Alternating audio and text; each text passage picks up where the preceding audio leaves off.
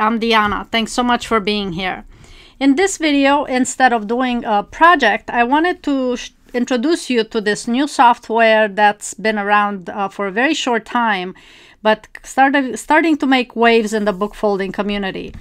It's called Wunderfold, and I've had a chance to explore it. I haven't actually folded a pattern from making a pattern with this software, but let me tell you, this is going to be a game changer. It really is super easy to understand. Um, it is, as it says at, on their website, book folding for everyone.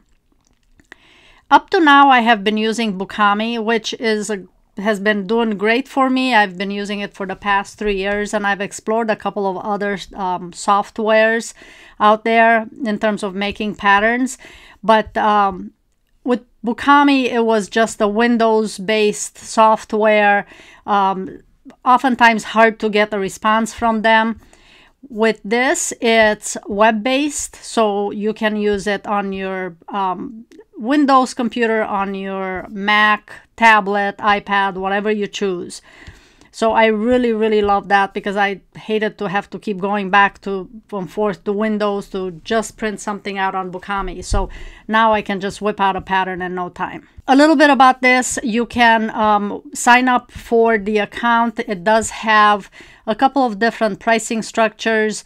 You can get it on the lower level. It's a yearly subscription and you can print patterns but you can't share them or sell them. And then they have the higher cost one which even the higher one is totally affordable and a good deal where you can actually sell the patterns.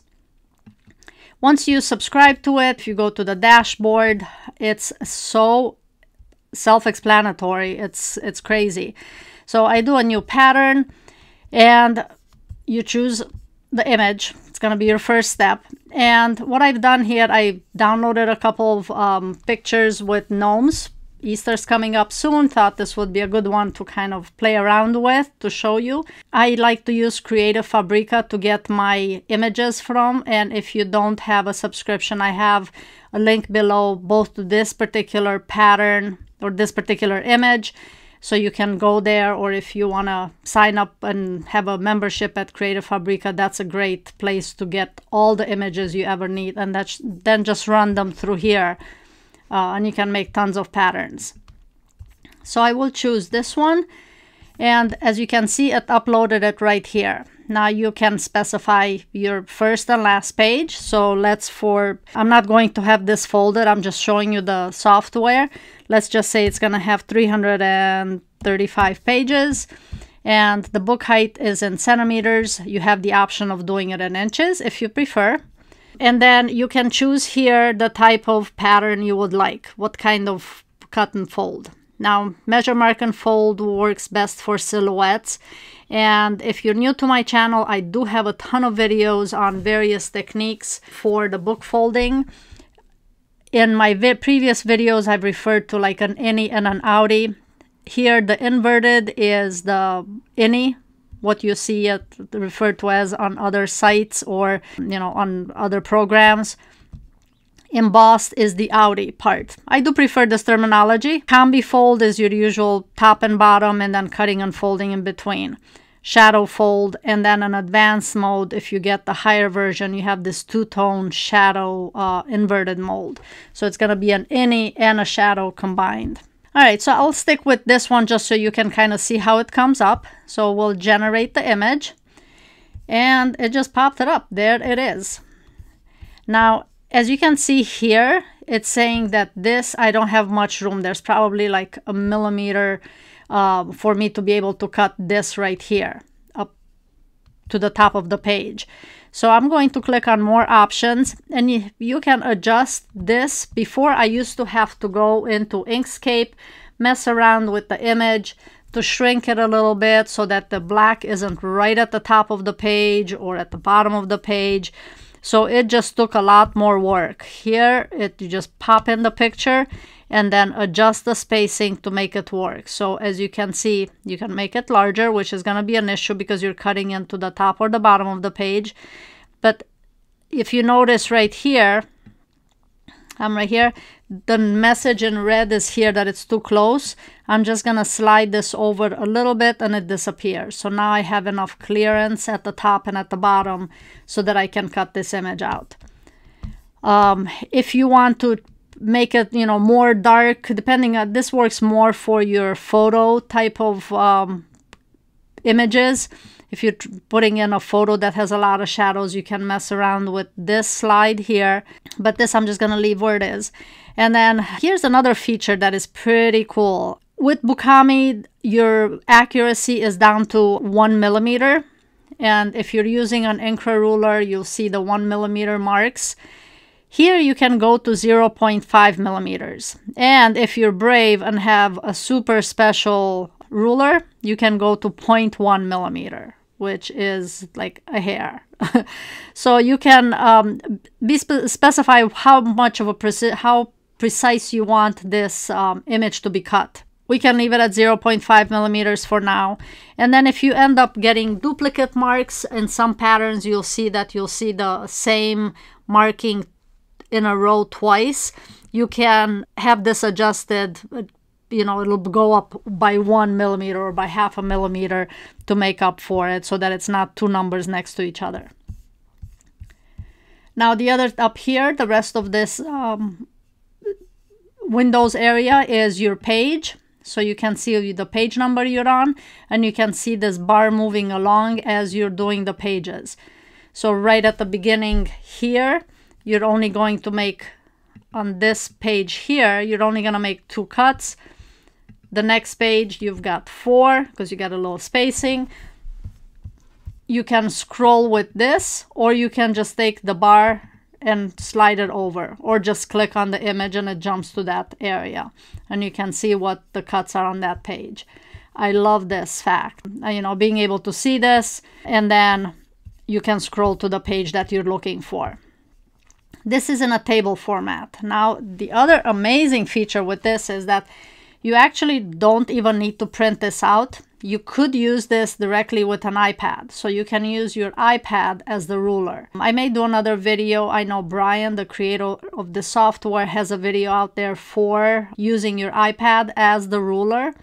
So you can put the page on the iPad and then just mark it exactly where it is. That means you have this ruler right here.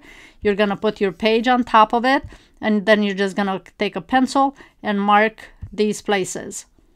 So you don't even have to think about it. Just draw a little line right where the orange part is. No need to try and figure out where the 14.25 is or anything like that. Um, and when you look in the um, table format, you'll see here, usually it's like 3.7, 6.9, etc., 11, 12.2, you know, something like that. But because this is a precision of 0.5 millimeters, you'll see this going out to two decimal points. So with the table format, let's say this is, I'm happy with the way this is. I'm just gonna hit print, export. And when it, you do that, you can see the information down here. This is going to require 3,220 cuts and folds.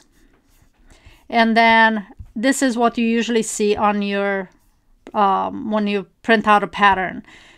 The pages one through five have no marks, and then seven you have you know the marks this way.